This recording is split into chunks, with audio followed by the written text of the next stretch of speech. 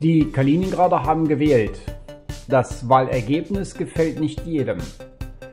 Die Germanisierungsgegner werden sicher wieder in die Tasten greifen und das unpatriotische Verhalten der Kaliningrader kritisieren.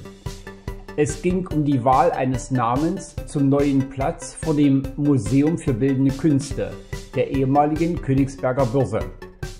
Die Abstimmung zum Namen für diesen Platz war öffentlich und der Name der die meisten Stimmen auf sich vereinte, der sollte es dann auch sein. Schauen wir mal, welche Varianten zur Auswahl standen. Sechs Varianten sind es insgesamt.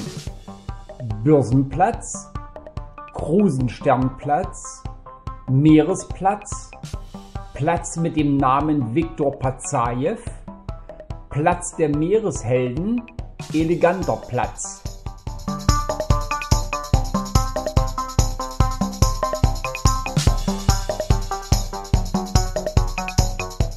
Wer derartige Vorgaben macht, hat einen eindeutigen Favoriten im Auge. Und so muss man sich nicht wundern, wenn 3097 Personen sich für den Namen Börsenplatz ausgesprochen haben. Insgesamt haben 9484 Personen an der Meinungsumfrage teilgenommen. Das sind rund 2% der Kaliningrader Bevölkerung.